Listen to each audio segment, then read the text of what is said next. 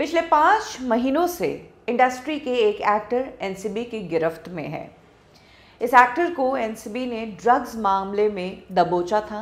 राजस्थान से मुंबई लौटा ही था कि एयरपोर्ट से ही इस एक्टर को गिरफ़्तार कर लिया गया था। इनफैक्ट इस एक्टर ने एनसीबी की गिरफ्त में रहते हुए भी जब इसे कोर्ट ले जाया जा रहा था तो मीडिया के कैमरास के सामने चीख चीख कर बोला था कि कुछ नहीं है, ऐसे ही फंसाया जा रहा है।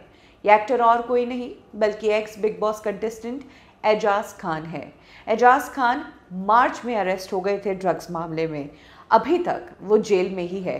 हालाँकि मल्टीपल टाइम्स एजाज खान जो है बेल के लिए अप्लाई कर चुके हैं, लेकिन हर बार उनकी बेल जो है रद्द कर दी गई है और हर बार की तरह इस बार भी एजाज खान को बेल मिली नहीं है। आपको बता दें कि एजाज खान के घर पर एनसीबी की टीम ने रेड करी थी, तब उनके घर से अल्प्राजोलम नाम की टैबलेट्स मिली थी, जो कि इंडिया में बैन है। एजाज खान का नाम एनसीबी के सामने एक दूसरे पेडलर ने लिया था।